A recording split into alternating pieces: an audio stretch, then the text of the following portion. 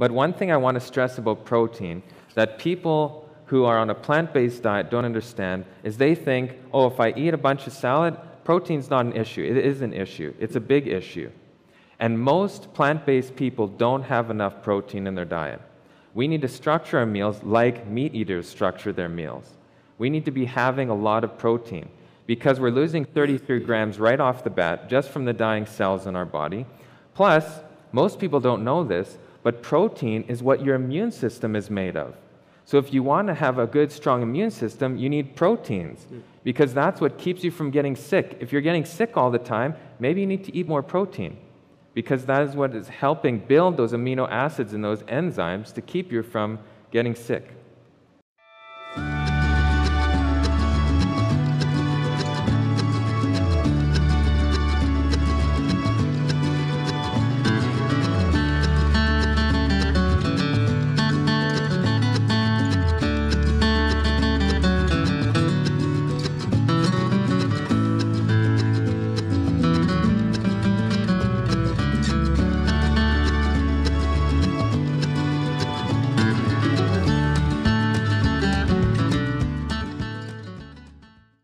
So today, we're going to talk about how much food does it actually take to feed a family. Now, some of the calculations we're going to show are based on just two people, just a couple, but you can then adjust that and rework that for however many people is in your family. So we're showing here some of the things that we've grown here at AD. Last year, on the, the bottom right picture, we have some watermelon, some cantaloupe, we have a bunch of eggplant and zucchinis, and some Swiss chard and beans in the back. And uh, then you see some of the lettuce that we've been growing, and even a block of wheat that is growing this year. All right. Maybe before we get into further um, discussion about this topic, it would be a good question to ask, we posted here, what do you like to eat? And that's a very broad question because sometimes we like to eat things that can't grow in our garden or that might not even be that healthy for us. So the question here that we brought up is really here to help us understand how we need to plan for our garden for the coming season. And what that means is when you plant stuff and then no one in the family, including yourselves, likes to eat it, then you kind of planted it for no good reason, right? So that question can be really helpful in planning your garden and figuring out okay, what are the things that we like to eat that can grow in our garden and that we use a lot? Those things we need to grow a lot. So let's say if we like to eat a lot of potatoes and we don't grow any, well, that's going to be a problem. So if we like lots of potatoes, let's plant lots. If no one in the family likes artichokes or eggplant, well, then we might not really want to bother even taking time to try to grow them, right? So that's one of the basic questions that I think is really important to settle. What things do we like to eat? What things do we use a lot? That can grow in our garden, and then we can move on with all the other things we need to plan to set up our plan for growing our garden. Another thing that is really important to remember is that where is your garden, you know? And I'm not talking if it's behind or in front of your house, I'm talking more like the geographic location. Are you living close to the equator? Do you live in Alaska? Do you live in southern BC or in central BC, even those can make a big difference. It'll give you a different growing season, you'll work with a different climate, you might get more sunshine than other places. So it's really important to know what, what area you're in, and that will also determine what crops you can grow. Because if you live right where we are here, you're not going to be able to grow pineapples, but you will be able to grow potatoes. And if you're somewhere down south, there might be some of the crops that we grow here that wouldn't do as well because it's so hot for so long. So you kind of want to look at that location say, okay, these things can grow well here. We use them a lot. Let's grow a lot of them. Another thing that really is important too is your soil conditions, and sometimes there's microclimates that can really change the picture. So sometimes along big rivers, the climate is a lot different than the rest of the area, and it might allow you to grow things that you may not be able to grow even 20 kilometers away from that river. And something that's a very clear um, cut for most of the growing is when your last frost is. When you have a hard frost, a lot of your crops might not make it. So if you plant them too early, it might be nice for a week or two. You plant it all, and then this weekend comes where it's just cold and rainy, and then there's a hard frost, might kill your crop. So it's very important to know your first frost in the fall, but also the, the last frost in the spring is really crucial so you don't plant too early, otherwise you might lose all the plants you started. So having those frost dates really decides, it kind of puts that frame on the season that you have to grow in. Um, and you can look that up online. Yes. You can get a farmer's almanac. You can get all these things to find out exactly what your zoning is. Right. Their zoning charts, they're not always super accurate because, especially when you're talking about elevation like we are here, right. just from this spot going to Horsefly, which is only about half an hour away, it's quite a vast difference. Or going down to the city is, is not that far in Williams Lake, and you'll see a, quite a bit of a difference in the climate there. They get a lot less snow, it warms up much faster in the spring, and in the summer, when it's still bearable up here, you can still work outside. Down there is already way too hot. So that can make a difference as well. Okay, when we talk about what equipment you have, it's not only your tractors or your tools, there's a lot of other things that can really help you grow more and longer. Um, one of them would be a greenhouse. And depending on the insulation value, on how many layers of plastic you use, if you have heat in there, and where it's located, you can really extend your season quite a bit. And in certain areas, if you have some heat in there that you can turn on when it gets too cold, you might even be able to get an extra month or two just like that in your growing season, which can really help. Um, the other thing is, do you have access to water? If you grow quite a bit of food, you will need water when it gets hot in the summer. Otherwise, you might lose your crops or you might not have as much harvest or not good quality of harvest. So water access is important, and then how do you apply the water? Do you have equipment to do that, or do you have to go with your garden hose? I can tell you from experience, going with your garden hose is a full-time job or two. And so having some equipment that helps you apply the water in your fields can really save you time and can up your crop quite a bit. Like you'll harvest a lot more. And then there's small machines if you just start out smaller and you have like half an acre or an acre um, little walk-behind tractors, rotor tillers like you see on the top there, those can really be helpful. They're like a workhorse that you just walk behind and you can get lots done in your garden without owning a big tractor. Now, if you go bigger, and while you can, it's, it's great to have a tractor, but it might not be necessary depending on the size of, of field that you're planting.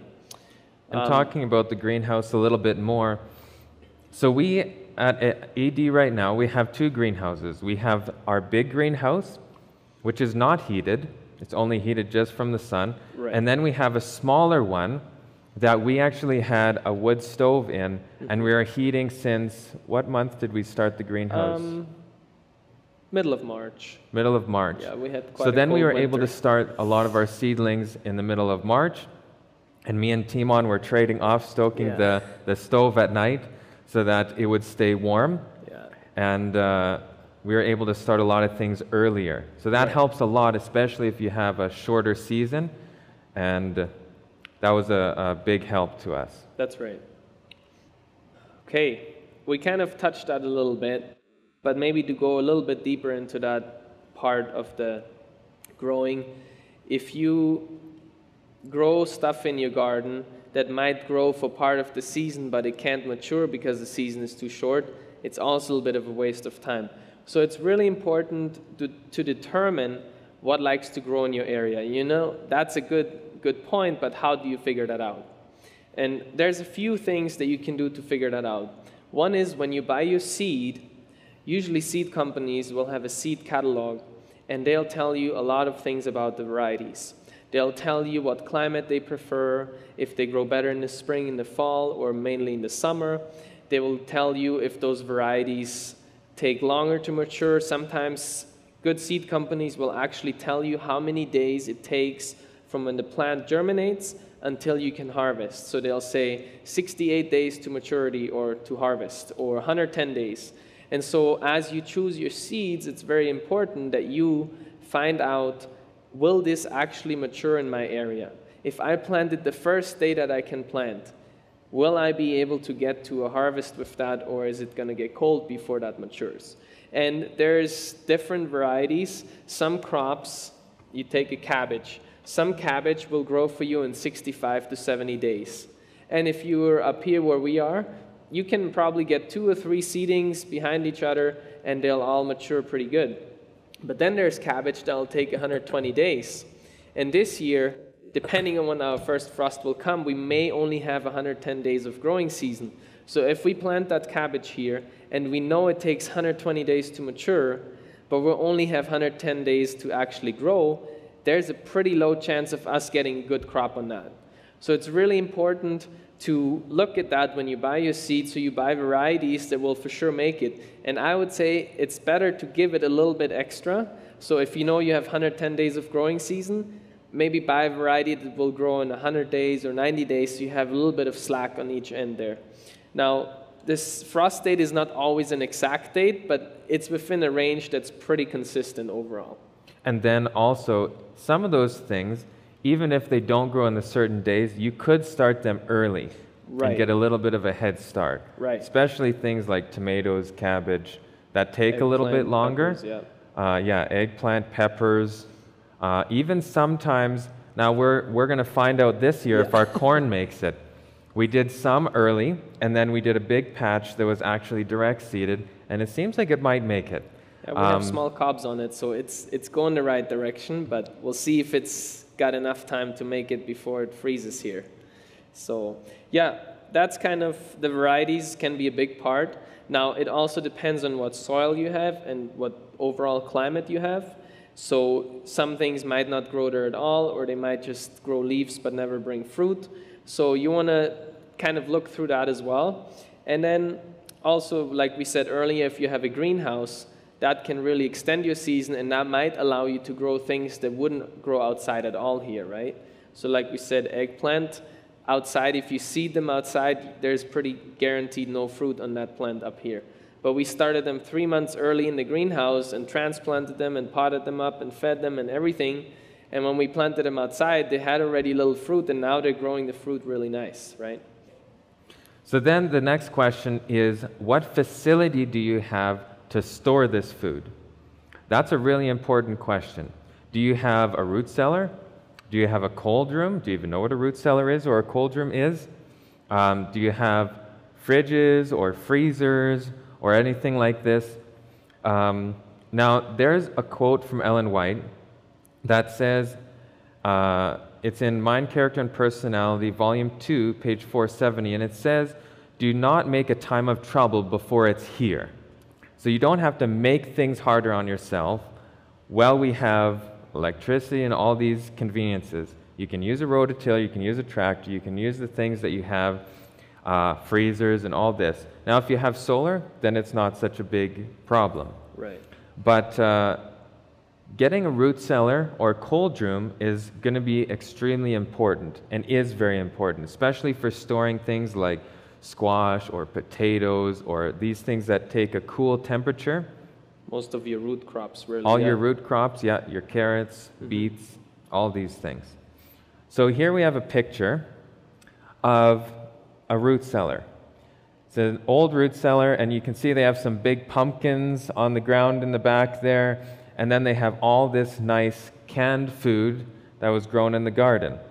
Now, a root cellar, all it is, is a building that's put underground because the soil temperature stays consistent all year round at plus six degrees Celsius.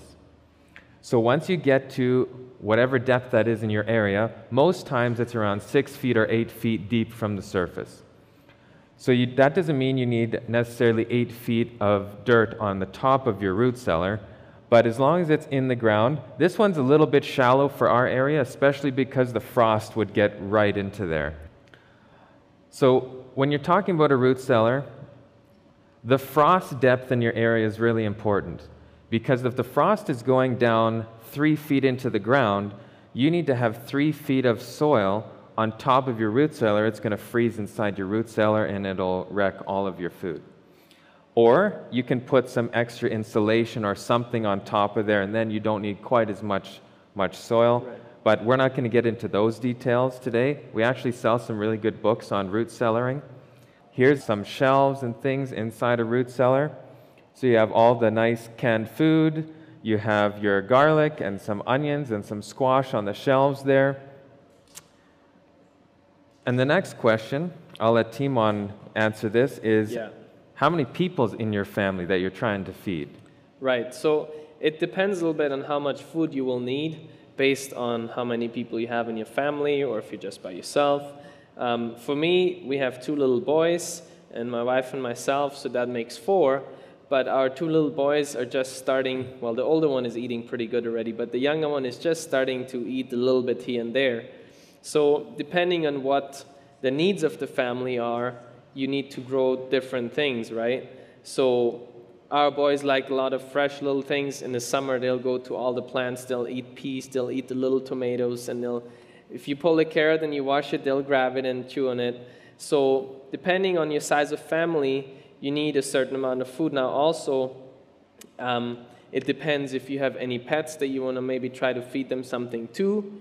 And some of them will, will eat stuff that comes from the garden. Um, another thing that can also be helpful, and that's not on here right now, but if you're hoping to help some of your neighbors or you have some elderly neighbors that need help or that don't have the means to or the energy anymore to grow a big garden, well, maybe you want to plan in a little extra so that in the winter you could go and give them sometimes, help them out a little bit, or even just to keep a nice connection with your neighbors, you go bring them a little bit of food here and there. So that can be a nice thing to calculate in as well. And then obviously, um, if there's any other people that could come visit you or you know of that you're like, oh man, when they come, I'll use up a month worth of food, right? So you kind of want to plan in for a little extra there. We want to think like Noah, that there's going to be a lot more guests coming on the ark, all the animals that were coming in. He didn't plan only for his, his family of eight, but he planned for a lot of extra. Right. Now, I wanted to talk, and I'm going to try keep this not too technical, but we need a certain amount of food in order to function properly, just to sustain our life. So we're not talking about eating lavishly so much that we're over full all the time, but we need to make sure that we're reaching our, our basic requirements. So, some of the things to think about now, there's a lot of different micronutrients. Those are all your vitamins and some of your fatty acids and different things like that. You don't have to be so concerned about that, especially when you're growing your own food. They're very rich in that, as long as you're getting a variety. But the things you want to keep in mind are your macronutrients. That's your carbohydrates, your proteins, your fats, and then a category of green and fresh. So you need that for your enzymes to keep your digestion flowing properly. So the main three, carbohydrates, protein, and fats, is the ones that you want to make sure that you're growing enough of so that you can function normally. Now, on average, the average BMR, and that is basal metabolic rate. And what does that mean? That means the amount of calories it takes for your body to function if it's just sitting. This isn't putting out a lot of exerted exercise. This is if you're sitting on the couch, just surviving. not doing much, just surviving. Average is 1,200 to 1,800 calories. The brain itself uses a fifth of this. So if you are in a deficit of calories that's too low, your brain will actually start to suffer and not function properly because your body requires, your brain requires, and so something's got to give. Protein, the average person you can be good on 0.36 grams of protein per pound of body weight. And what's interesting, and most people don't know this, is you use 33 grams a day of protein just to survive, just of the protein that you're losing by all the dead cells leaving your body and the new ones growing. So, just you, not, that's not talking about adding muscle or anything. This is just for your body to basic metabolism function. Then carbohydrates, 1.5 grams per pound, and then healthy fats up to 0.65 grams per pound of body weight per day. And this seems very technical, but it's not that complicated. I have an app on my phone, and you can use it on the computer as well, and it's called Cronometer. It's not a, we're not getting paid for that, but it's been a very helpful tool if you're trying to find out if you're reaching your daily requirements of your main food groups. So you go to cronometer.com and you can put in what you're eating. Or you can put in any food if you're wondering what the nutrition is. And it has every single mineral and vitamin that's in that food for how much weight or how much of that food is. So now here's a real life example. So let's say for breakfast you had some tofu, some oatmeal, almonds, flaxseed. That's for your, your omega fatty acids, uh, some honey, and some strawberries. So for breakfast, you got in 45 grams of protein, your carbs were 75 grams, and your fats were 27. Now, the requirements for a 180 pound male per day is 65 grams of protein, 270 grams of carbohydrates, and then 117 grams of fats. Now, these are round figures. These are going to fluctuate a little bit depending on the person, of course. Um, depending on the build structure, if the person is a lot heavier build or if they're a lighter build, these are going to fluctuate a little bit. But one thing I want to stress about protein that people who are on a plant based diet don't understand is they think, oh, if I eat a bunch of salad, protein's not an issue. It is an issue, it's a big issue. And most plant based people don't have enough protein in their diet. We need to structure our meals like meat eaters structure their meals. We need to be having a lot of protein because we're losing 33 grams right off the bat just from the dying cells in our body. Plus, most people don't know this, but protein is what your immune system is made of. So if you want to have a good, strong immune system, you need proteins because that's what keeps you from getting sick. If you're getting sick all the time, maybe you need to eat more protein because that is what is helping build those amino acids and those enzymes to keep you from getting sick. So then for lunch, let's say we have some potatoes, black beans, some lettuce, tomato, cucumber, and some sunflower oil for our dressing. And uh, I said sunflower oil because olive oil we can't grow here. Maybe where you are, you can grow olive oil. Yeah. But uh, for us, it would be sunflower oil if you're trying to grow all your, your food. So there we got 20 grams of protein, carbs, 80 grams, and 15 grams of fats. Then for dinner, maybe you had a little bit lighter. You had some popcorn, which you can grow. All right. You had some canned fruit, some toast, some peanut butter, some honey. And then the total that we got that day protein, we were really good. We had 83 grams. Carbs, 237 grams, which is a little on the low side, which isn't the end of the world because these are some complex carbohydrates and we got a little bit more protein so that can make up for it. And our fats is right in a good range around 50 grams of fats, and the fats are up to 117 grams. So that doesn't mean you have to hit 117 grams of fat, but you should get some fat because your brain runs on fat, and we want our brain to be functioning properly. So, with our garden, we need to calculate for a minimum loss of at least 10%. Maybe right. some of our seeds won't germinate, maybe we're going to have some things get rot. Maybe the deer's going to come yeah. and it's going to eat our crops. Maybe the things that are stored are going to go bad, some of it. Right. So a 10% is, is definitely a minimum. At times you might lose a little bit more, but it depends on the year, depends on what happens in your garden. So you definitely want to not calculate tight and say, oh, I planted 10 pepper plants and I'll have all the peppers I need. Plant a few more if you can. Okay, here's a couple staple foods that I like to grow in my garden. And I'm just going to kind of walk you through that, explain a little bit what that looks like and what you can do with it. Now, like I said in the beginning, it all depends on what you and your family like to eat or what you can grow. It's kind of those two factors are your main factors. Now, for me and my family, we like to grow lots of potatoes. They're easy to grow, they store well, and we use quite a few of them over the winter. Potatoes will grow in this area, and they'll grow in most areas unless it's way too hot and sandy, then they might not turn out so well, but they're pretty easy to grow overall. I want to emphasize potatoes because potatoes have a lot of good carbohydrates and they actually have a decent amount of calcium. Mm-hmm. So that is something that we need for strong bones, and they are one of the simplest things that you can grow in your garden, and the simplest things to keep and then save your your seed or your potato uh, roots to grow the next year. Right, and potatoes will grow in very short seasoned areas as well. Like there's people way up north, even into Alaska, that can grow potatoes, and their summer is not very long. So that's something that can be pretty standard for a lot of people. We also like to grow some carrots. We like to eat them fresh. We make juice with them. We make salads with them. Um, my wife uses them to cook, make soups, make different other things, stir fry, whatever.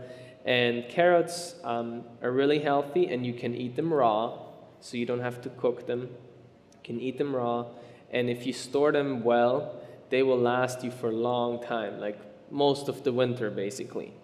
Um, another thing that we like to grow is cabbage, and it is preferred if you can start it a bit early inside the greenhouse to get a head start, and that'll help you to actually grow nice heads, at least in this area here. And Cabbage can be used for a lot of things. As you can see here, you can make sauerkraut to store over the winter. You can make salads, soups. You can can it. You can use it fresh. So there's a lot of ways to use that. Um, one thing that I like to grow, and for those of you who were on our garden tour, you saw our onions growing up there in the field. I like to grow onions. And onions are not only good for making salad and for cooking, they're really good for natural remedies. So when you have insect bite you or like a bee comes or wasp comes stings you, if you cut an onion in half and you put it on the skin as soon as you can, it really helps to stop that swelling and take all the poison out. So we always take an onion along even when we go camping or go on a trip. Take an onion or two along. If someone gets stung, you cut it, put it right on there, and it can really help. Also, in the winter when there's not much sun and it's cold and people start getting a little bit sick and stuff, get the cough, whatever, we like to cut up some onion, put it on a plate next to the bed, and when our boys, when their nose is a bit runny or whatever, we just put it right by their bed overnight, and that onion smell, they breathe it, and it really opens up their whole system, and it really helps them to get over it fast. So, that being said, if you count onions just for what you cook on a daily basis, that's good but you may need quite a bit more if you use it for natural remedies. So that's something to calculate in as well. Um, tomatoes. Um, at this point, we like tomatoes fresh. We can them, we make tomato sauce. So in the winter, you just open a jar, put it on your food, and you're ready to go. Um, something with tomatoes, you have to start them quite early, and it's much better if you're in a colder climate to have a greenhouse to grow them. If you do outside, you'll get some fruit, but it's never the same as in a greenhouse. So that can be a, a good tip there. Something with um, cucumbers, they're really nice and juicy. So in the summer, when you eat them, they'll give you lots of water and they'll keep you hydrated as well. So cucumbers grow pretty well. The only thing that I've found is if it gets too cold when you first plant them outside, it can really be hard on them and potentially even kill them. So we like to grow cucumbers. One thing though is that beside pickling them, there's not really a good way to store them. Like even if you keep them in your fridge, they might last you a week or two and then they'll start going down already. So don't plant a whole lot unless you have types that you can can well and you can them because that's not something you want to store tons of in the winter. It's just more like eat it in the summer when it's there and then it's done. The only ones you'll want to store is for your seed. Right. So you'll take right. the the nice biggest ones that are turning orange on the plant, leave them alone, don't pick them, and then have a couple plants or a couple uh, cucumbers, maybe just a handful of them. Yeah. keep them in your cold room, like we said, until after the new year. Christmas, Yeah. and then you can take the seeds and, and save them for next year, and you'll have many more seeds than you could ever even use from three or four cucumbers. Oh, yeah. And one thing with the cucumber seeds that's very interesting, just a tip there, I've been taught and I've tried it and it really works. Cucumber seed takes time to mature. So the first year after you harvest it, if you plant it, it'll grow okay, but not all of them will germinate.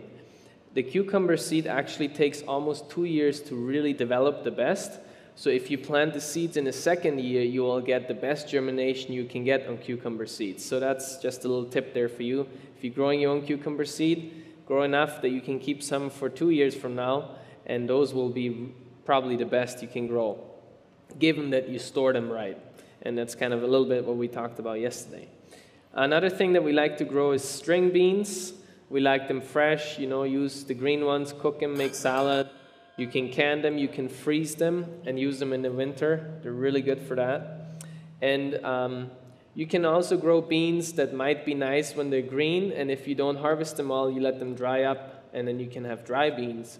Now, I will say there's different varieties, and if you are aiming for dry beans, plant varieties that are good for that, so you actually get a lot of dry beans, and not just nice, lots of green um, beans that don't have much bean inside it, I guess.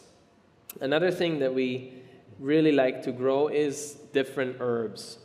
And you know, you use some for cooking in the summer, maybe not a whole ton, but growing some of your herbs yourself can save you a lot of money, even if it's just for the summer.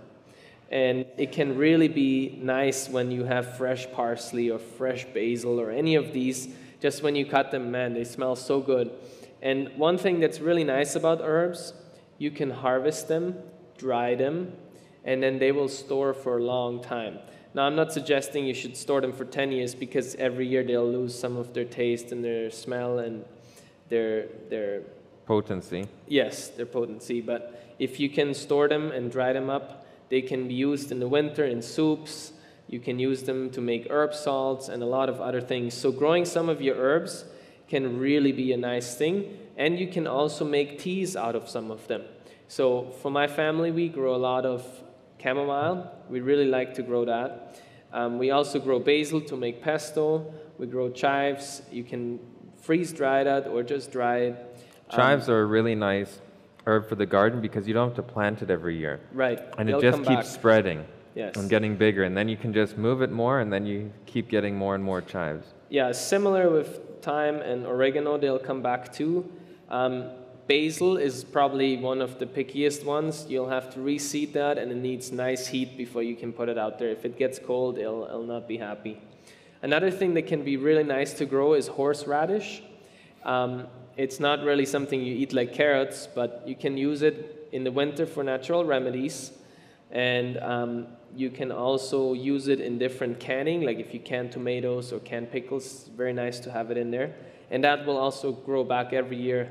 You just take some roots out, leave some in there, and they'll just keep growing back.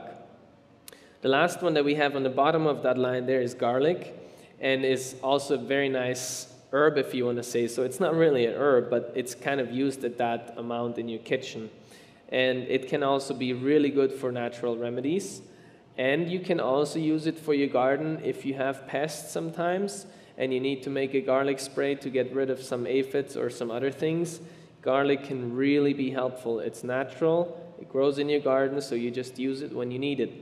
I don't think we can underestimate uh, or overestimate the importance of garlic because it is nice for flavoring, but it right. is super important for a natural remedy, especially yeah. when you can't get a lot of other different herbs. It's very strong. Onions and garlic and these things. It's Even awesome, peppermint yeah. would be a great herb to add into here. Right. Um, and this things... is just a quick little short list. This is definitely not everything you should grow. There's a lot more herbs that you can grow. Like rosemary is very nice to grow.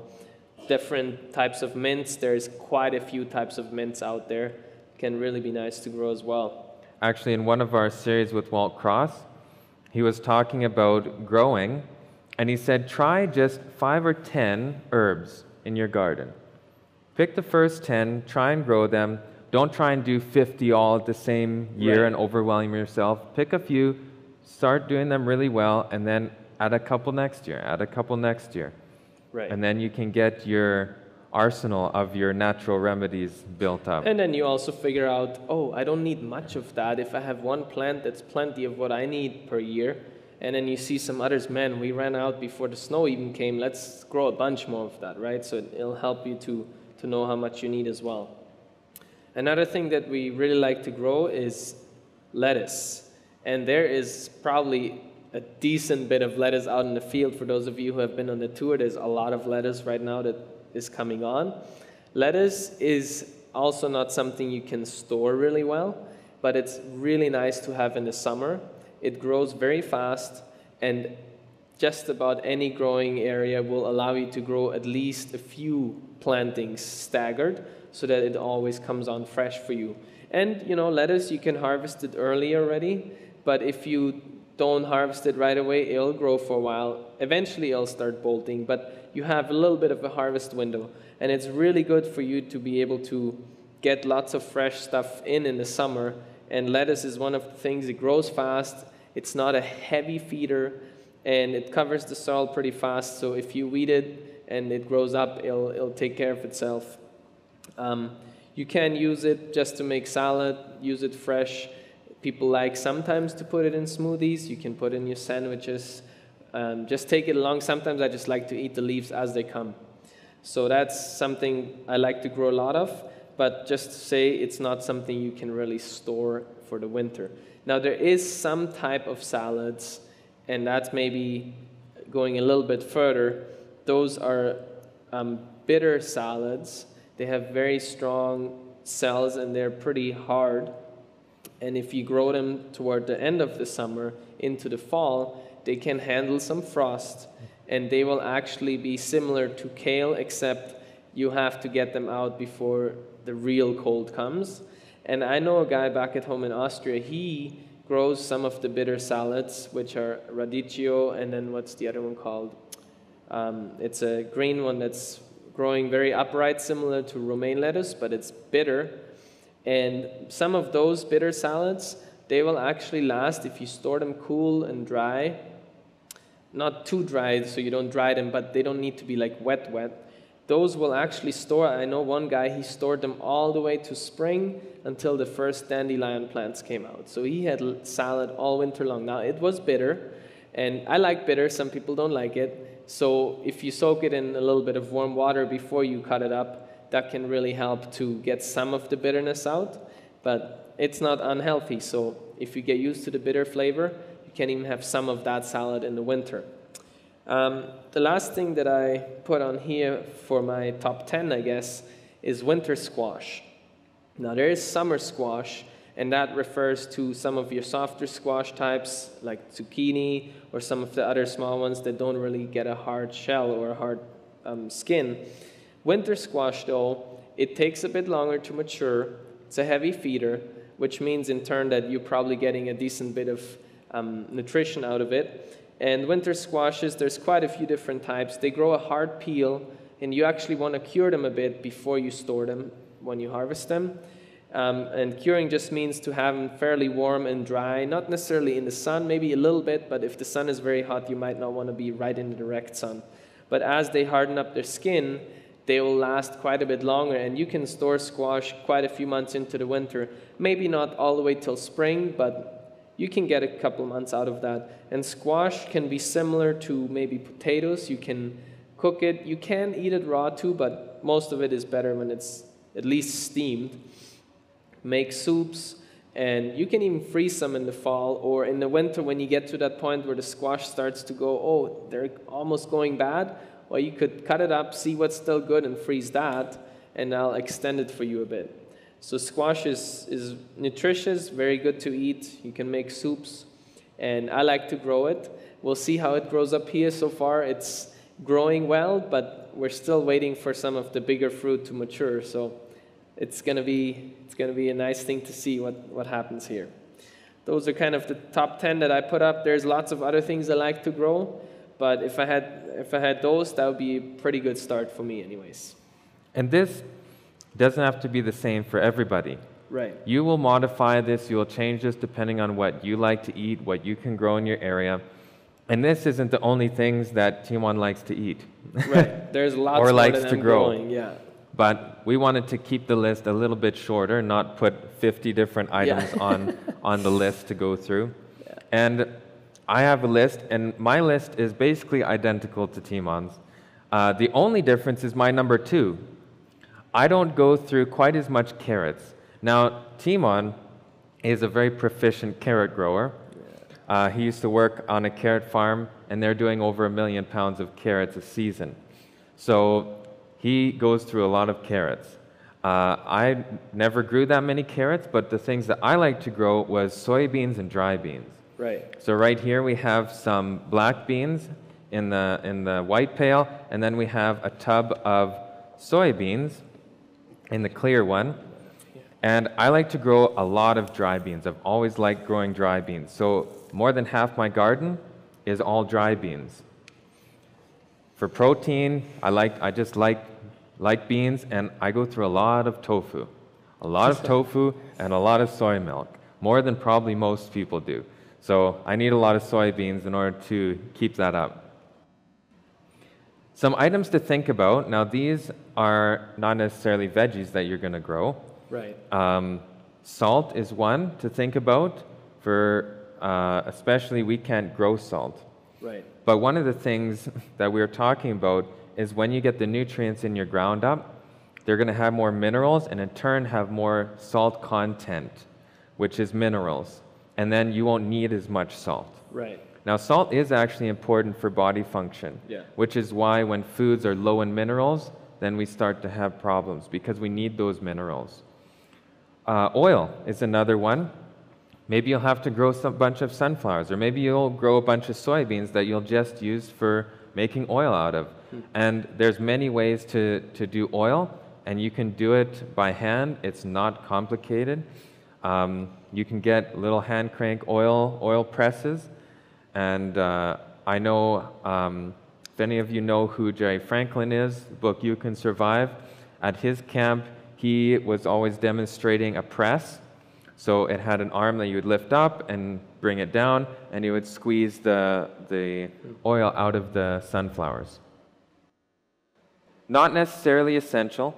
Um, it is important that you have fats. So you're going to want to grow something that has fat in it uh, because you need that for proper body function. But if you want oil, that could be used for cooking, that can be used for lamps, that can be used for many different purposes. Um, next one is sweetener. So that could be honey, maple syrup, sugar beets, uh, sugar cane, depending on the Where you area live, where you live. Again, um, I prefer honey because honey is not that hard to do. Maple syrup's great, but it's only in very select areas. Where I was in Saskatchewan, we would harvest our own maple syrup because we had maple trees there. Here we don't have that. You can do birch syrup. Takes a lot more work because there's not so many birch trees and it's not quite the same taste. Yeah. It's a little bit more bitter than, than maple syrup. But honeybees is a great thing to have. Natural remedies as well with honey. You can use that on burns. I know someone who had a big outdoor boiler and uh, they threw something in the boiler and the fire came out, it exploded, and it burnt their arm almost all the way up to their forearm. And it looked like a burnt hot dog. All the skin started to peel off. It was black. It was horrible. Hmm. And they just put their arm in a bucket of honey, of liquid honey. And they left it there, and every, I think it was every 12 hours or so, the honey would start to get hot because it's pulling all of that heat and all the toxins out of there. And then they would change it. Now, today, you would never know that they burnt their hand like that. It looks just perfectly normal. I had a big burn on my arm. You can't see it today, where I leaned on the rototiller exhaust pipe. Oh. I didn't even feel it. It just melted the skin and it was just dripping off in an area and went right through the nerves. I put honey, and now today you can't even tell that I was burned. So that's a very powerful healer. Um, and if you want some sweetness in your life, then you might want to have some honeybees. That's right. Sourdough starter. Maybe you can mention something about that. Yeah. So when you bake bread, you have two main options, I guess, how you can make it. One is to use yeast, and then one is to use sourdough. Now, the yeast is something we generally buy in the store, and you can use that. But sourdough is something that's very easy to replenish as long as you do it right. And I'll say that because my wife has been trying to do sourdough for several years now, and she's finally figured out how to do it, and she's very happy, and I'm very happy because I like sourdough bread a lot. So sourdough starter can be really helpful because you can keep it going, and you can um, Maybe you can explain what sourdough starter is. Yes. So basically, sourdough starter is you have grains that are milled up to flour, and then you have water in there. And as the flour kind of ferments, it builds that sourdough fermentation, I guess. And I'm not a professional at explaining this, but basically, if you get it right and you keep feeding it with new flour and new water, and you take some of the sourdough out and you add some more new flour and you kind of feed it, and as you process it along, it will become that sourdough that even the Bible talks about. And so when you then add some of the starter into a big bowl of flour with water and with salt and whatever else you want to add to your bread, you can then add some sourdough starter, and it will actually, within less than a day, develop sourdough in the whole bowl. Like it'll take over, it'll make everything sourdough in there. And then you can bake it, and it will rise really nice and have a tiny bit of a sour taste to it, not too bad, but it'll really make the bread nice and, and fluffy and soft. And that can really help when you're baking bread. And that's something that you can grow then yourself and Right. start yourself. So now let's talk about amounts. Now, this is probably going to be one of the most shocking um, charts that we're going to have on the screen here. It may seem like a lot at the start, but if we go down, let's start at potatoes. Now, me and Timon thought long and hard on these amounts and taken many different charts from many different people and correlated to what we've been used to growing and how much we, we use. Now, this is going to change for everybody. Right. This isn't, um, you know, a set thing that everybody's, maybe you're going to grow more of something else. But we thought this was a really great start, especially because we were calculating in the nutrition factor. So you have your carbs, your proteins, your fats, your, your greens, and then your fresh things, all these uh, taken into consideration. So we have the, our first thing, potatoes. So maybe you can mention a, a couple of the items here and why you think Yeah, we came up with these. Yeah, so for the potatoes, we, we suggested that um, if you use them at least, let's say, three times a week, you use potatoes for some or another meal. And if you have two people and you cook for them and you say, we're going to use about three pounds or so, then that will add up if you add it up for the whole year. We did the math on that, it'll come out to about 500 pounds per year. Now, we suggested that potatoes are easy enough to grow that you should grow a little bit more so you have seed for next year. You have seed potatoes for next year. So we suggest that if you add another 150 pounds or so to that, you'll have enough to plant and harvest enough again next year if everything goes right. So that adds up to about 650 pounds. So if you're in that range, you have enough to eat all year long, and then you will have enough for planting new potatoes. Now, I would suggest that you kind of sort out a little bit what you want for seed at the beginning of the season so that at the end of the winter you don't end up with all these little small potatoes that might not grow as nice for you. So, kind of pick the medium, smaller size for seed, put that aside, and then if you pick too many aside, you can eat some of those in the spring before planting, but kind of set that aside so you don't have no potatoes to plant next year. And maybe I'll just say about the potatoes, it doesn't matter what size of potato you plant. That's right. It doesn't determine the potato size that you're going to get in the garden. Because you're taking, really what you're doing is cloning the potato. Because you're taking the direct genetic information and you're just splitting it and allowing it to keep growing. So even if you plant a tiny little potato as seed, or even I've planted just the roots. Mm-hmm. Sometimes the, the it's called eyes. So on a potato you have these little divots, mm-hmm. and that's called an eye, and that will make a long root. Right. And sometimes those roots will break off mm-hmm. before you get time to plant. And I've planted a row of potatoes just with the roots, with no potatoes, and we got full harvest of potatoes. Now, if your soil is not nutritious enough, the roots are going to have a little bit more struggle because yeah. at the start, they're taking a lot of nutrients from that potato. So if they don't have enough in the ground, they're not going to have a good head start. Right. Good. Then the other thing that we suggested was carrots there. And for those, we were thinking, you know, if you have about four pounds or so per week, for two people, that would be enough to make some salad, to use some for cooking, and to get you through a good part of the winter. So if you can store them well and you use them starting in the fall when they come on and you use them all the way through winter, you can add up 200 pounds pretty quick if you use some every week. Um, another thing is here the cabbage. We, we wrote on there about 100 heads, and the reason for that is because sometimes cabbage will be very big or very small, and depending on what variety you use, a head might bring you way more than some other small types. So the 100 heads are just a kind of an idea, but if you grow a variety that makes small heads, you may need double that, 200 heads, for example, to still get the same amount. So we just put that kind of there as a number. Um, and if you make sauerkraut and you make a decent bit, almost half of that will go into your sauerkraut right there.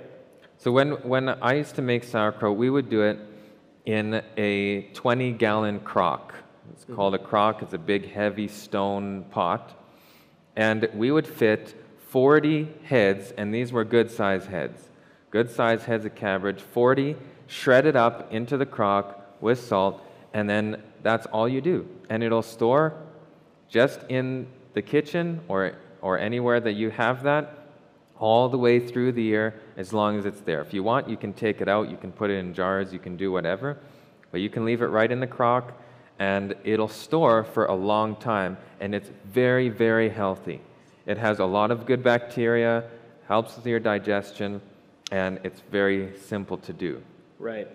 And then the other part that we were thinking you could use fresh to make soups and other things. Sometimes people like to make cabbage rolls or you can just make a cabbage salad like when you get more into the winter and all your lettuce is gone you can grind it up really fine and make cabbage salad and that can be a good thing to still get something fresh in so that was kind of the idea on that for the onions i don't know about you but it's probably not an overestimation to use one to two onions per day that's an easy thing for two people you'll use one to two onions a day easy and then if you add that up for a whole year, that'll, that'll give you quite a few. Now then, if you do canning and you want to can tomato sauce and use some onion in there, you'll actually use quite a bit in there.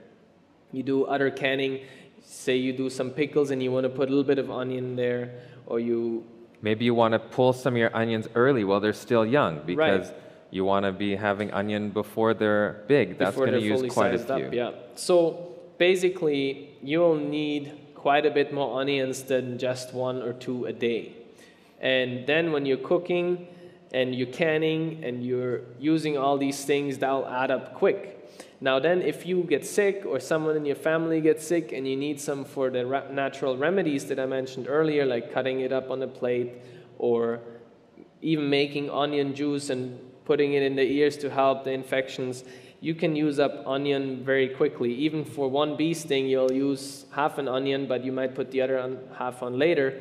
So it can add up fast. An onion is not very hard to grow, and it's it's not very um, like you don't have a lot of problems with pests and disease. So I would grow at least a thousand bulbs for two people, maybe even more if you can because if you use some fresh and you add all the things that we talked about here, it's easy for you to use those up. Now, I don't know if Timon was able to bring everybody sort of past the staff gardens there. Yeah, we did a little bit. Um, I planted, there's about 1,300 onions in that Yeah, we spot. didn't get all the way up there, yet. So if you went to look where our garden is, that area, so you can visually see what 1,300 planted onions looks like.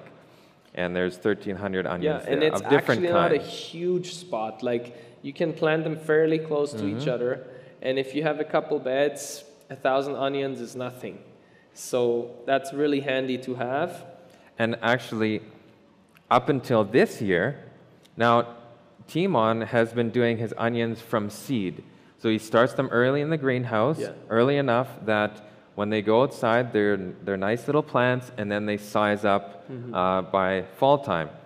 I had always used onion sets. If people know what that is, they're Right. little little bulbs that are pre-done, and I never even had experience doing that. So he said, no, it's way better to do it by seed, which that's the way we're going to have to do it later, anyways. Right. And so I said, okay, well let's let's do it all by seed, and they're just beautiful. Yeah. it's it's so nice to do your own. I believe I mentioned that on the garden tour on our first day.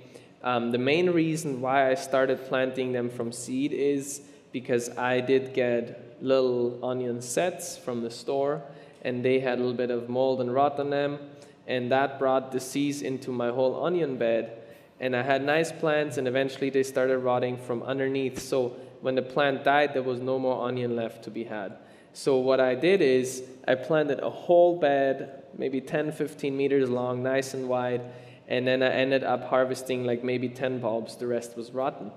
So I studied into it and I'm like, what can I do to get rid of this? I don't want to be spraying anything.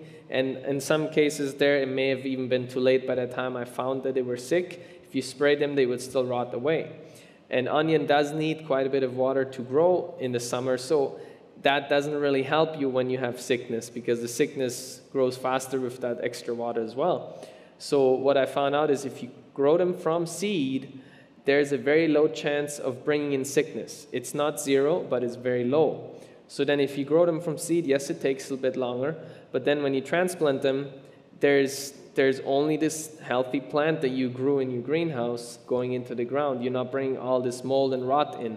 And ever since I grew them from seed, it was in the worst case maybe two or three onions in my whole patch that had some kind of you know sickness or a little bit of rot on them and the rest was healthy.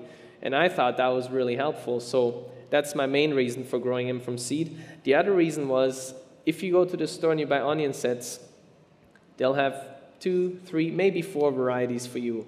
And you don't really know what they are and there's not a whole lot of description on it. If you buy onion seed you can choose from i'm sure it's not an overstatement 30 varieties that will grow in your area you can get different colors, different sizes, types, and you have a lot more variation to play with to find the right one for your location. So that's another thing that I found was really helpful by starting them from seed. Um, what else do we have here? Tomatoes. Did we talk about these? No. No. Tomatoes is something, I don't know, some people might not like them, but in my family, everyone likes tomatoes. And if they're actually sweet and juicy, they go really fast. I can never grow enough of them. So here we were suggesting that once to twice per week, you'll definitely use tomatoes in one or another way. And we um, checked it out. One of these one liter jars or one quart jars, they are about 2.8 pounds of tomatoes that go in there when you can it. So that's actually quite a bit. And if you use that once, twice a week, maybe even a little more, you, you can add up quite a bit over a year. And so here, 300 pounds is, it may be enough, but if you like tomatoes and you eat a bunch fresh when you're harvesting them already, that may not even be enough. Now, those are not the most essential for your food, so if you have to only eat them once in the winter per week, that's okay. But I would say 300 pounds is definitely a good start. If you grow that much, you'll, you'll, you'll have a good start. And some of this seems like a lot of tomatoes to Yeah. grow, 300 pounds. But when you have healthy plants, if you have a little greenhouse, you can actually get quite a lot. Yeah. This morning, uh, Timon went out to pick uh, tomatoes for the, the, the kitchen, lunch yeah. today, and it was a little tub Yeah. about this size, and there was how much? How many tomatoes? I think it was seven or eight kilos. Eight kilograms of, That'd be pota- of tomatoes. So 14, times 15 pounds, 2.2, yeah. 17, 17, 18 pounds Yeah. of tomatoes just in a little little container Box, like yeah. that. So it can add up quite quickly. Then we have dry beans. So dry beans, I calculate one pound per day. And that would be for, you could spread that over soy milk, tofu, maybe it's just beans. Maybe you just slow cook beans overnight or whatever. Um, maybe it's hummus in the form of from chickpeas. Um, many different options for beans. Uh, that's very important for protein, like we mentioned. So a pound a day times 365 days a year. Right. So that's why we have dry beans at 400 pounds. Now that'll give you a little bit of a, a buffer zone for having plenty to seed back in the ground because you're getting many, many times Yeah, one bean will putting in. bring you a lot of beans if the plant matures well. So you won't need hundreds of pounds to seed. Like a couple pounds will bring you several hundred pounds if you have a good crop. So that's that's a good thing. Just for reference, we have some black beans right here, and this bucket was about just over 30 pounds. yeah, I 33 pounds in the white in the white five gallon pail. Just over 15 kilos for those who like that. I like it. So you'll need, yeah, 12 of these buckets would get you enough for an entire year. right. And dry beans doesn't mean they all have to be black beans or kidney beans. That could include your soybeans, some of different types of beans, because you want variety and um, it's nice to have different colors in there too when you use them. And then also for making tofu and soy milk, soybeans are obviously the best. So And I like to grow a lot of soybeans because I go through a lot of tofu and Yeah. soy milk. Okay, what else do we have here? Then we have our winter squash. Right, So we're not going to have that for the whole year because it is only going to store for maybe 16 weeks from when you pick it. right, Um, so that's maybe from, let's say, your last harvesting in October into January. And if you had squash, now when I lived in Saskatchewan, we grew a lot of squash because it grew very well and our plants were very big, much bigger than we get our plants here. right, I would plant one plant, and sometimes it would be eight, ten feet across, and you'd get up to a dozen squash on, on one plant. So you're getting a huge production. Here it's not quite as much. We're still playing with everything because Trying we're trying to figure out the right timing and the right uh, balance of everything. Um, so we would eat squash. It was almost every day. We'd have potatoes every day, at least once a day, and we would have squash almost once a day at least, uh, because that was the things that grew really easily for us. So here, most people don't eat that much squash or pumpkin. Um, but maybe going back to what you like to eat and what grows in your area, you might have to change what you like to eat to what is good to grow in your area. So we said if you ate squash twice a week, then that's how we were calculating. That can be in any form. That could be in soups, that could be just baked. We would just cut the top off the squash, scoop out the seeds, put the lid back on, put it in the oven, and in an hour, then you have a nice squash just ready to, to eat like that. right. So then we had saying about 50 mature, decent sized Squash. squash Fruits, yeah. would be, would be a good amount to start. Then wheat, Yes. which uh, most people don't think of growing in their garden. But this is actually probably a very important one to actually learn how to grow, especially if you want things like bread. Right. bread or even pasta, things like this, all use wheat. So we have 400 pounds of wheat, and that is taking in calculation of how much bread you're eating. So we said about five loaves per week is what we thought would make sense, and each of those loaves taking just about one and a half pounds of wheat or flour per loaf equaling about 390 pounds of, of wheat. Now, if you were able to go or able to go still and go see our garden, you'll see the block of wheat that we have there. It's in the far Um, yeah. It's in the far corner there. And right now, we're getting about a hundredfold from what we put in. So we plant one seed, we get a hundred seeds. So if you plant one pound of wheat, you should get a hundred pounds of grain from the one pound that you put in the ground. Now, that's on good conditions, good spacing, good everything else. Um, but you're getting quite a high amount. So it doesn't take a lot of input to get quite a good uh, return from that. Right. Then we have sprout seeds. And that's something really awesome to have in the winter. Um, sprouting seeds is very easy. You don't need a big greenhouse for it. You just need a jar, some clean water that doesn't have any bad additives or chlorines in it, and your sprouts are going to go. And you can do that through the whole year, but especially in the winter to get fresh things on your table. And believe it or not, you don't need a whole lot to actually get a jar full of sprouted seeds. Like a little spoonful of seeds, once you soak that and once it starts growing, it'll fill your jar right up. So we have some sprouting seeds here in the bag, and that's actually quite a lot. Like this will get you through a long time. So, so we said five plus pounds of sprout seeds. This is five pounds of sprout seeds. So that's what it looks like. And you can see it's not a lot. It doesn't add up to a lot. But this would make you a lot of food. Yeah. a lot of, of green, fresh food that has good enzymes, good nutrients for all winter. And you can use so many different kind of things for sprouts that Mm. actually are already growing in your garden. right. It can be radish. So if you grow an extra spot of radish and then you just let them go to seed. Right. And the seed is extremely easy to harvest. It's super fast. You can see that in the book Seed to Seed. It's one of the easiest uh, seeds to grow, probably. Yeah, probably. It actually makes almost like a little tree, a little bush about this size. There's a whole bunch of little pods that are hanging there. Just pick all the pods, crush them up, and then just your blow on there. it, and the chaff will go, and you have all your seeds. Super easy. Uh, broccoli.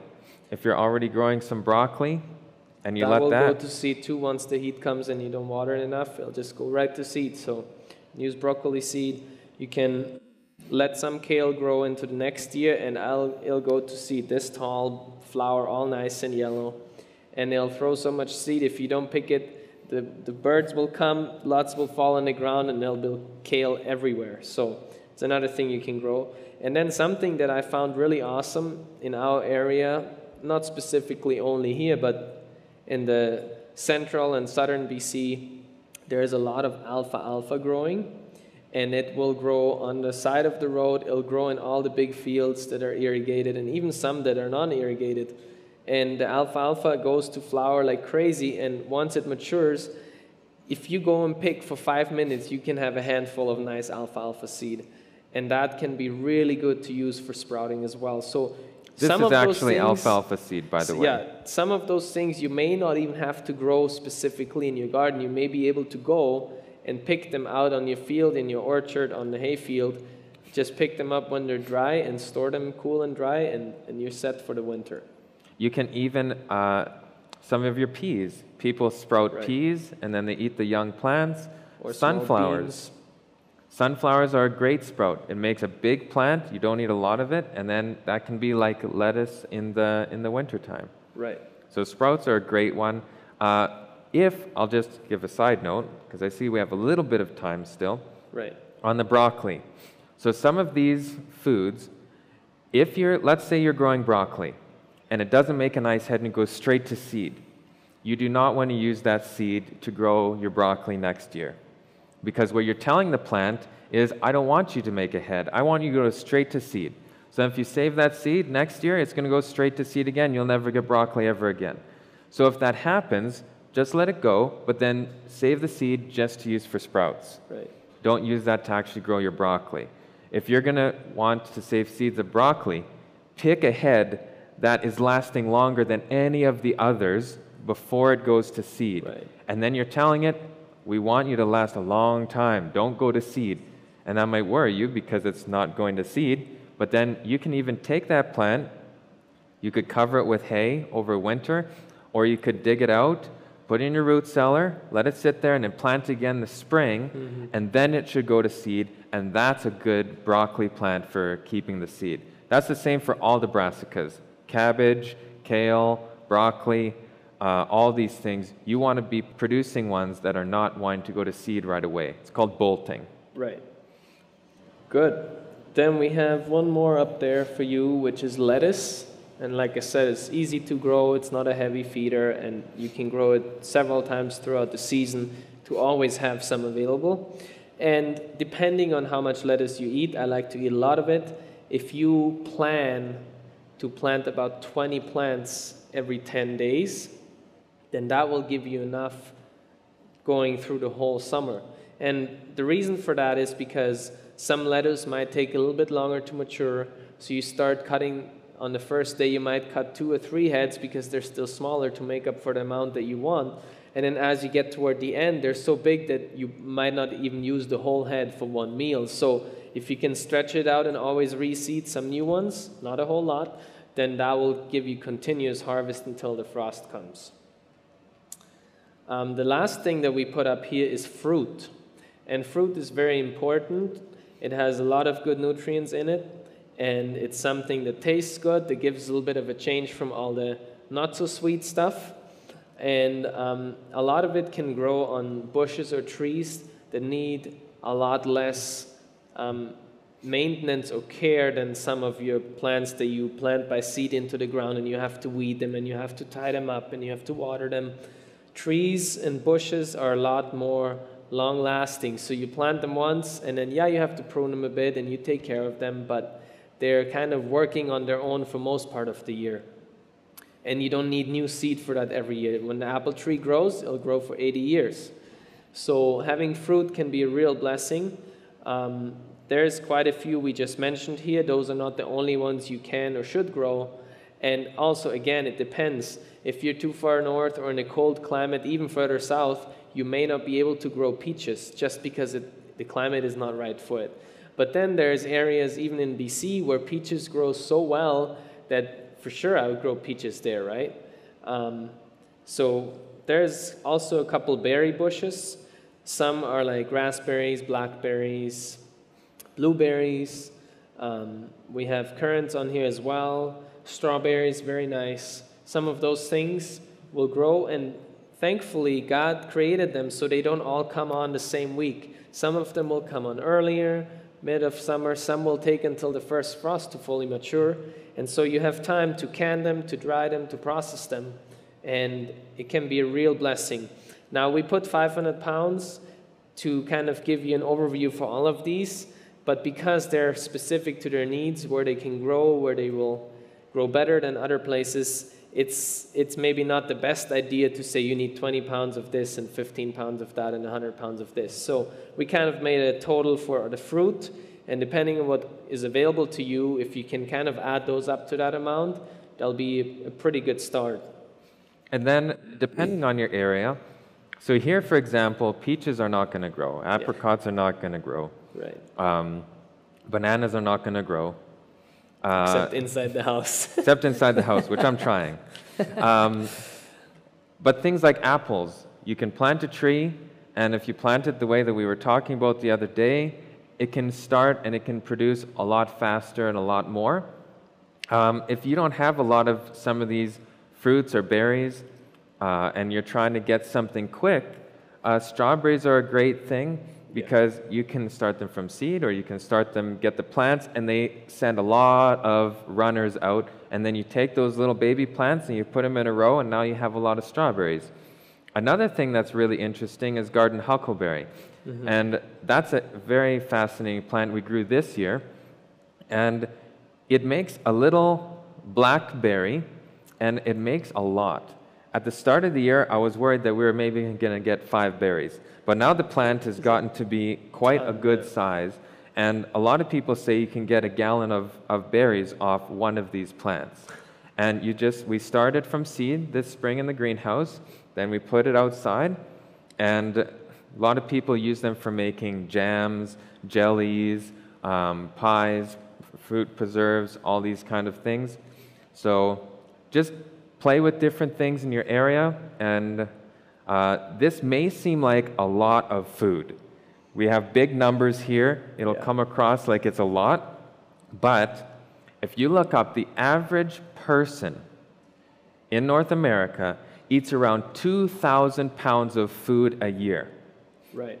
This added up total, this is for a couple, is 3,000 pounds. So it's actually less than the average person eats Would in eat, one yeah. year. So it's not as much as it looks like, but that's how much per, a person actually goes through in a year. Hmm. So maybe we'll stop here and we can take uh, a few questions before we, before we end. Yeah, let's do that. First one. This one is about your last talk you had. Okay. Store bought veggies and fruits might be more nutritious. Is that true? Uh, I saw you had a graph for spinach, um, and it was second to tomatoes in iron. It made me think that you used organic. Okay, maybe that was a little bit misunderstood. So the graph was showing the first year they tested, and this was commercially grown produce, was very high. And then the next 20 years, it was extremely low compared to the previous 20 years. So we are actually showing quite the opposite. Yeah. That this food from the grocery store is very low compared to what your personal garden is, because you're actually putting care into what you're growing, not them, which is just pumping some chemicals to make some, some Right. nice plants. Mm-hmm. Even I think the organic sector doesn't use real compost and stuff like that mainstream. Pretty rare. Yeah. There's some, if you go to small farmers that have time and the heart to do it right and to put their heart into it, they will have good produce. But on big scale, it's, it's quite difficult to, to do thousands of acres like you would do your own garden, right? So, Yeah. Do you need to rest the land that you plant in every seven years? So- or at all? That's a good question. Uh, that was actually one of the ordinances in the Old Testament. So in the Old Testament, they had seven Sabbaths that they were supposed to keep. And one of those Sabbaths was the seven year land Sabbath. Now, it is not a bad practice to rest your ground, um, but it's not good to just leave it bare and dry with nothing on it. So that is not the point. What they did in the Old Testament is everything that was self-seeded from the previous year they would let grow. So it actually wasn't bare. There was things growing. And then that was so that the people who didn't have as much money could go onto that land and actually harvest everything and eat it. So it wasn't that they didn't do anything and not a plant was allowed to grow. It was for a different purpose. So it's not a bad practice to be trying to help our ground if we wanted to rotate things through. Um, would you recommend rotating your um, growing for the year? Um, instead of growing everything you need for one year, would you recommend growing some of it for two years and then rotating so that you don't grow everything each year? Like your supply that you Oh. need for the whole year? That's a good question. It's- I think with regard to your dry beans, that could be more be worth it, possible. yeah. You could grow quite a few in a year, but most of this stuff is perishable. So Right. it's not going to last for two years. Your Yeah.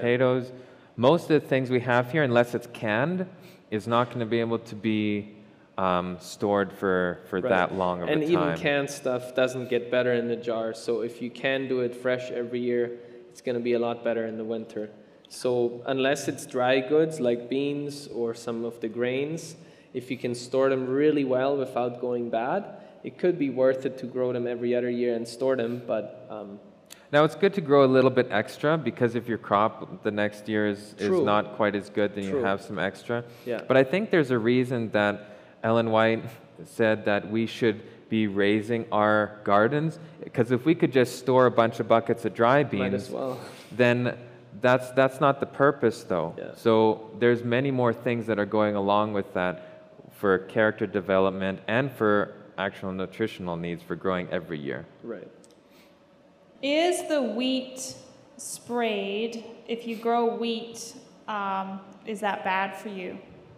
Like, is the glyphosates or whatever that are in the traditional wheat going to be in the wheat you grow? How does that work?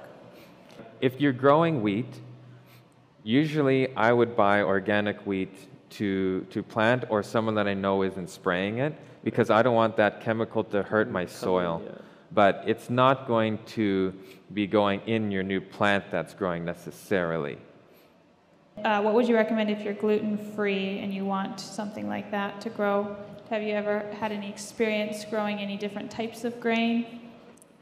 I mean, there's quite a few things that are gluten free that people eat when they're gluten free. So some of those can be grown. Um, I have met a few people, and I'm just telling that from my experience, that have had intolerances for different foods. And then when they tried foods that came from our garden or from our field, they weren't intolerant to it. So they were actually not allergic to it. So there is times where people are actually allergic to the chemicals or sprays or other amendments that have been added to the crop from the store.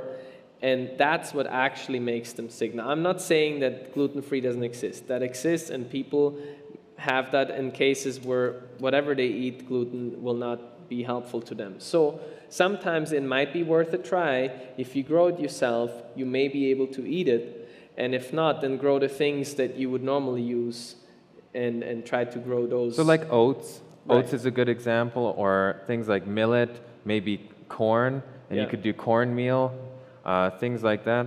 Um, So there's definitely options. And maybe I'll just mention with the grain and with the sensitivity to like the glyphosates and things like that. I used to live in Saskatchewan again, and uh, it is pretty scary actually the way that they're growing the food. So the when the seeds put in the ground, it's sprayed, and then it's sprayed to grow, and then it's sprayed to ripen, and then it's sprayed to kill it, Yeah. and sprayed to dried. So you're having so many applications of these harmful chemicals. And when they uh, high clearance spray these crops, you can't go in the field for two weeks. Two weeks, if anything passes through that field, it'll drop dead before it gets to the other side. So a deer, as it's walking by, it'll drop dead in the field. Coyote, anything, if it's walking through, it'll drop dead. My brother, he's still working out there. He was working on a tractor, changing one of the big tires, and they high current sprayed with an airplane over the top, and some, and they didn't go right over the top, but some of that drift came, Came over, yeah. and got right to him and the other guy that was working. They almost didn't make it out of there. They had to crawl to the trucks. They couldn't breathe and they couldn't move. Started to shut down their entire bodies. So this is pretty dangerous stuff, which shows why people would be intolerant to eating it. Right. So, nuts are usually a big part of a vegan diet. What do you do if you don't have a nice, good old nut tree on your property? Is it a big problem? Can you grow something else for nuts? I think if you can, plant the tree today. Get those nuts growing because the tree will supply you with nuts for free as long as it grows there, and that can be a long time. In the meantime, there's probably different options. Nuts store fairly well, so you could get some and have a little bit of uh, store up of that until your tree starts producing. And also, something that we shouldn't forget Mo- most times we have neighbors. Maybe someone has a nut tree and they don't even use them because they don't like to eat them. Maybe you can get started, trade something with them, talk with them. But I would plant trees if I can and just get that going. A couple options are some of the seeds Right. in place of nuts. So sunflowers, you can grow sunflowers and, and use that. You can do peanuts, which you can do every year. You just plant them in the ground, they grow like potatoes, pull up the plant, and then you have peanuts there. So there's definitely options. Which refractometer did you buy? You mentioned you bought a refractometer on Amazon. Which kind was it? And uh, just to say, I answered the other question. The device that measures um, your Brix. Brix is a refractometer. So there's no specific brand you need to worry about. If you go on uh, Amazon or any other place, uh, even garden stores sometimes have them, Right. as long as it says that it's for vegetable testing. Because there's acid ones, there's different kinds of the refractometers, it has to be for Brix, it has to be for the sugar.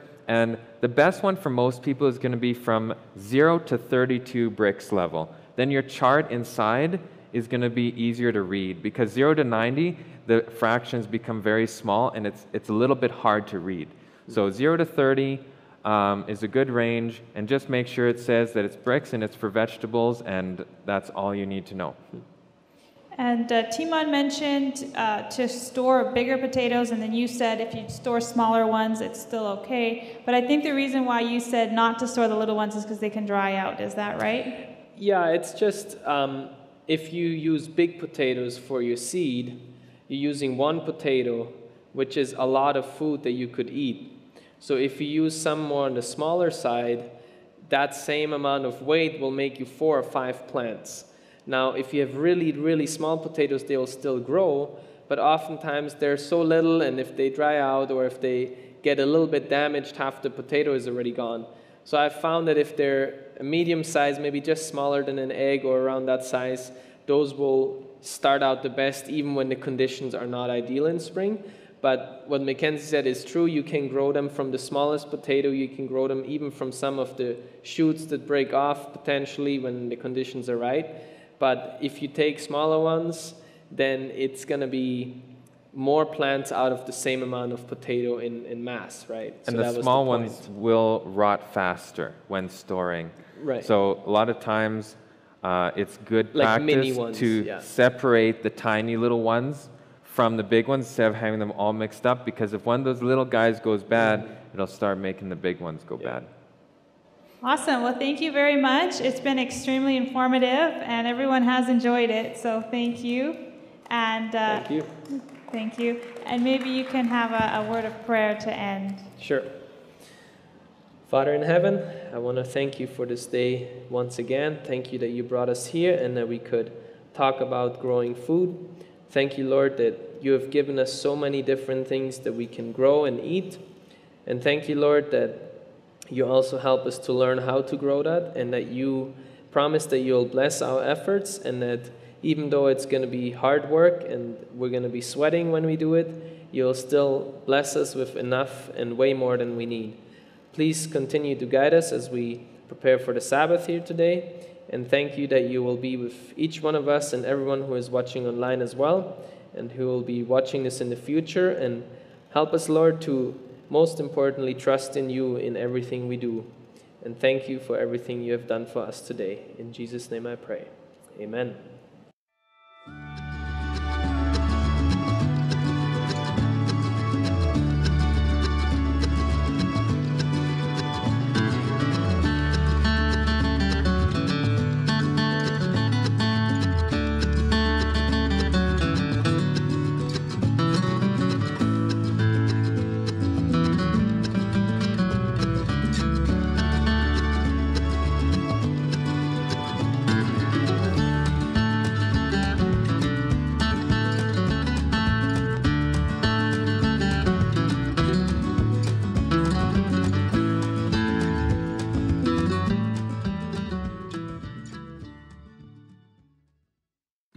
Presentation was filmed at our 2022 camp meeting on site in British Columbia. If you would like to join for the next camp meeting, visit our events page for details events.amazingdiscoveries.org.